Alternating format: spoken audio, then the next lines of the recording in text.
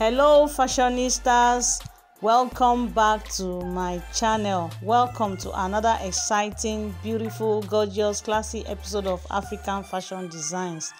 My name is stella badmus and you are watching Stellyn fashion tv the number one channel on asoebi ankara and other african fashion designs.